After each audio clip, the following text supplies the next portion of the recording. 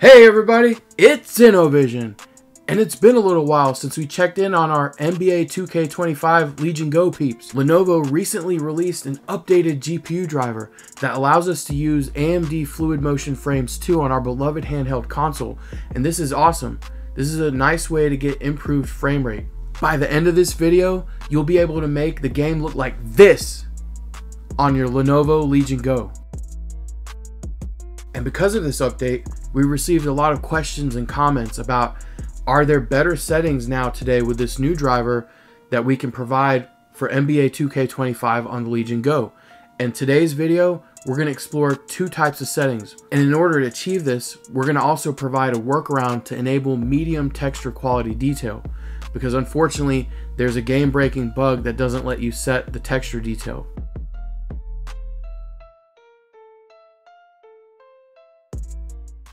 So we'll be providing two class of settings here. The first setting is more geared towards performance. We're trying to balance between visual quality while keeping the frame rate up, but also minimize power consumption. So you can think of this as kind of some pretty decent settings to use while you're on battery. And then the second set of settings that we'll provide are pure eye candy. This requires you to be plugged in but you're still going to hit a solid 60 frames per second. With the eye candy settings, in many cases, you can hit well above 60 frames a second.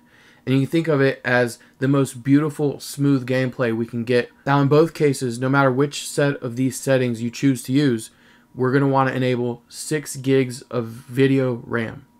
And this can be done in the Legion Go BIOS, and we're going to show you how to do that here in just a little bit.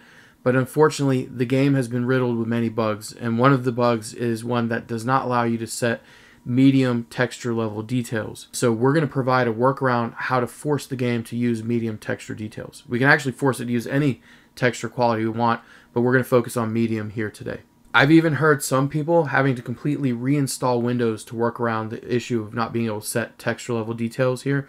So this workaround is beautiful.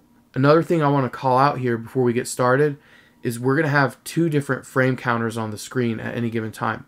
Anytime you see the frame counter that's in the top right corner, that's the frame counter that's coming from Steam when I'm running the game.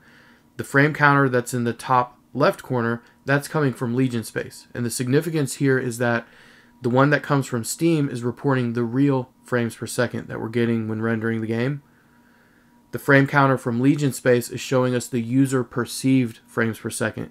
And this is important here when we run AMD Fluid Motion frames in between real frames, we're approximating an artificial frame to help the game run smoother. Don't be too caught up on the real frame rate here, especially for a game like this, because a game like this doesn't require low latency interaction like a first person shooter would. And so, even if you're running the game at, let's say, like 40 frames per second, but the perceived frames per second is like 80, it's still a very smooth and beautiful experience. The game is really built around the animations and the facial expressions of the players not so much like low latency, you know, dodging people while they're shooting at you like you would be in a first person shooter. And the last thing I'd like to call out before we get started is we're focusing on gameplay here in the basketball courts. This game brings my beefy gaming rig down to its knees when I walk into multiplayer areas. I have an RTX 4080 graphics card with I think like 24 core CPU and I stutter down to like 30 or 40 frames per second when I enter multiplayer parts in the game. The game is very poorly optimized. And so, in order to set up an experiment where I can do like A B comparisons to see if the settings that I'm creating actually benefit us, I'm focusing on gameplay in the courts. And these settings will scale out to different areas of the game, but your mileage may vary based on what's going on online and things like that. And so I really needed a clean test bed to come up with these settings. Anyways, let's get started. So the first thing we're going to want to do is actually boot into our BIOS and make sure we enable at least 6 gigs of VRAM. And so to boot into the BIOS, we're going to hold the volume up key and then push the power button. And then leave your finger on the volume up key until we're greeted with the BIOS boot screen. So once you see this screen, go ahead and select BIOS setup and from there we're going to click this more settings option down at the bottom right and then we're going to go under the configuration tab and then scroll down until we see UMA frame buffer size and so by default this is set to auto we're going to want to pick 6 gigs. And so this adjusts our video RAM size. Also another couple settings that might be worthwhile while we're here is go ahead and make sure that this is set to 7500 mega transfers per second. Make sure that we have all 8 cores enabled and make sure that we have SMT enabled. Once you have all these settings configured, we're going to click exit and then exit saving changes. Alright, so for this step, I highly recommend using a mouse and keyboard. If you can get one, I highly recommend the Legion Go dock. I love the Legion Go dock. You can just hook up your mouse and keyboard straight up to the dock and you're set. So what we're going to do is use a mouse and keyboard and we're going to navigate to a directory to find a configuration file to edit in the game. And this configuration file will force the game to use whatever texture quality detail you want to use. I'm just clicking on my PC, but you can actually click on Explorer down here or wherever you have it. And so we're going to type percent A P P D A T A percent. And so this is a macro that tells Windows, hey, I want you to take me to my user's app data folder. And so I'll actually post the text of what that looks like um, also in the video description. So you can just copy and paste it. And so you'll hit enter. And once you're there, you're going to be in a folder called roaming. We want to go up a folder. So click up into app data. And if you don't have the ability to click on it in the toolbar here, you can just click this up arrow over here on the left. So click up and then we're going to go into this folder called local. So once we're in local, look for a folder called 2K Sports. Usually the folders are sorted in alphabetical order. So click into 2K Sports and then I only have this one 2K game installed currently and so I'm going to click into NBA 2K25. Once you're in there, there are two files.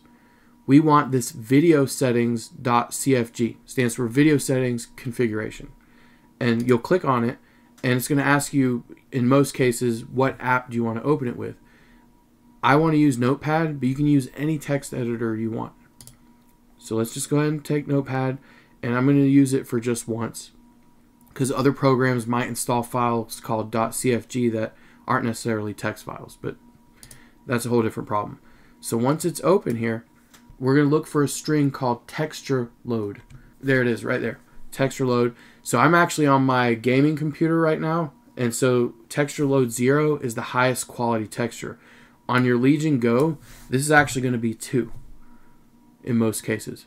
Unless you're already able to set the texture quality, then you don't even need to do this step. But if you see 2 right there, go ahead and change it to a 1, which forces it into medium mode, and then save it. If you have a keyboard, you can just hit Control S to save, and then you just exit. And once you exit, you can close all your windows and then you can start Steam back up and start the game back up. So before we get started, we want to enable our in-game overlay. So click on the cog icon here and then go into preferences and then make sure this in-game overlay options enabled. And so this is our heads-up display that shows us if Radeon Super Resolution is enabled or when fluid motion frames are enabled or any other features related to AMD graphics card configuration. All right, so we got something a little special planned for our halftime show. We've got this NBA Ballers blind bag minifigure. Let's see what we got. They're saying that there's 38 in the whole collection, and so I've been saving this for a special occasion, and so here we have it. All right, the moment of truth. Oh, that must be like a little stand. We've got a little uh, collector's guide here. So it's got all the different minifigs that they make. Alright. Comes with a little piece of court. Probably a little ball. That is too cute. It's got a little basketball with it. Alright, so I'm not going to look at the rest of the stuff because I don't want to spoil who we got. And it comes with a little mini card. So we got Chris Paul from Golden State. He comes with a little mini card, and a little table to stand on. All right, well there you have it.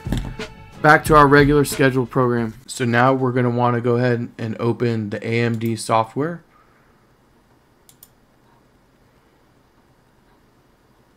So go under gaming and then find NBA 2K25. So for our performance settings, we're going to want to use integer scaling. And so what this means is that each frame of the game will be rendered one-fourth the size of the display. And so to enable integer scaling, we just click on the right-hand side here. We have integer scaling. Go ahead and make sure that's enabled and then make sure we're using full panel scaling. The other really important step here is we want to make sure this AMD Fluid Motion Frames 2 is enabled.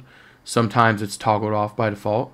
So once that's all set, we'll go ahead and just click Launch Game. I just want to show you, right now I'm using the Auto TDP settings.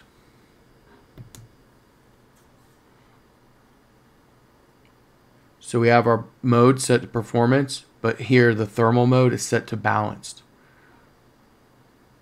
And so this means that it's going to try to hover around 15 watts TDP. And so that means that the device will generally run cooler, but at the expense of worse performance. So we'll go ahead and launch the game. Notice here, fluid motion frames was enabled. So that's great. That's exactly what we want. All right, so we're going to go under features and then under video settings. we're going to want to pick the 1280 by 800 option here for our resolution. We're going to want to turn off resolution scaling. We don't want it because it's going to make our image look blurry and we don't need it because we're already decimating the image. We're making it four times smaller than what the full size of the panel is. So we don't need to reduce our uh, image quality any further. We already reduced it by 4x. So we want 1280 by 800 and no resolution scaling. And then if we go under texture detail here, notice that our medium texture quality is grayed out, but it's selected anyways. That's because we hard coded it in our config file. We overrided the game settings. For some reason, there's a bug in this game. Even if you enable 6 gigs of VRAM, you don't get the option to pick, you know, you know, even if we enabled 8 gigs of VRAM, we should be able to select the high option but we can't select anything besides the low option because of a bug in this game. And so by editing the config file, we're overriding this UI right here, or this user interface. And so overall quality, we're still going to leave it at Steam Deck, but when we pick this medium texture resolution, that's what's going to allow the characters to look less blurry. That's also going to allow the court, the lines in the basketball court to look less blurry. And so you can try playing with this option here. Um, you know, we have enough overhead to allow the medium option. I didn't see a need for it, and I felt like the game performed better when we just leave the Steam Deck preset because this Steam Deck preset affects other things like the number of people in the audience, the resolution of the models of the characters in the audience, so on and so forth. So I really want up close and personal while we're playing our game for all the characters and animations to look as nice as possible. And so I don't really mind having this Steam Deck preset. So once these settings are uh, enabled, we're ready to go ahead and let's go ahead and save. All right, so I'm just going to make them both CPUs just so we can watch it play out. So one thing I want you to notice here, this is our real frame rate on the right top right. This is what we see from Steam and then on the left, this is our frame rate once we have the A, the AMD fluid motion frames enabled. And so typically what you'll see is the user perceived frames per second is about double what the real rendering frames per second is. Welcome everyone. Thanks for tuning in to 2K Sports. We've got some NBA action for you coming up. This is Kevin Harlan. I'm joined by Richard Jefferson and Greg Anthony. And David at the line for two, Luka Doncic.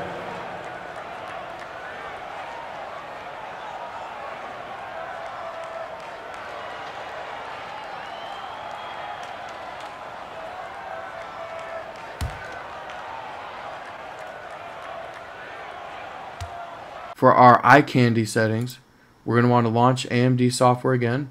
We're going to go under the gaming tab. Scroll down to NBA 2K25. And so here we're going to do things a little bit different. And this is so we can get the kind of the best image quality, but we're going to also want to change our TDP settings. And so here we're balancing be between the best image quality at the loss of, you know, more frames per second, but we'll still hit close to 60 frames a second in the end here. And in fact, this game actually runs quite well even at 45 frames a second. So we're going to go into our TB, TDP settings. Here we're going to pick performance. Now this is going to generate more heat and require more power to run. And so now for our gaming experience, we're going to want to pick HYPR-RX, which is going to disable our integer scaling over here. And we're going to want to make sure that AMD Fluid Motion Frames 2 is enabled. Then we can go ahead and launch game. Okay, so the first thing we want to do, so notice we didn't see uh, upscaling enabled yet. So we're going to have to go ahead and go into features here. And we're going to want to select video settings. And we want to use the 1900 by 1200 option. And we're going to use full screen windowed again and no resolution scaling here. And we're still going to be rolling with the medium uh, texture detail and the Steam Deck preset. So that all looks good. So again, 1900 by 1200, no resolution scaling, medium texture detail, Steam Deck preset. So let's go ahead and save that. And I'm going to exit the game and come right back in. Alright, and there we have all of our settings enabled. We've got fluid motion frames and Radeon Super Resolution enabled. And so we're just going to go into quick play so we can just see an example of this. And so on the right hand side here, this is the real frames per second. And then on the left hand side, this is with the frame generation enabled. So typically you'll see what we get on the left hand side is about double of what the real frames per second are. And that's okay for a game like this. For a first person shooter, a game that requires really low latency, it might affect your gameplay here. But look, we're staying well above 60 frames a second. The characters, the models look beautiful. The lines in the court are very nice and defined. Out of bounds, the Lakers will take possession. Los Angeles ball.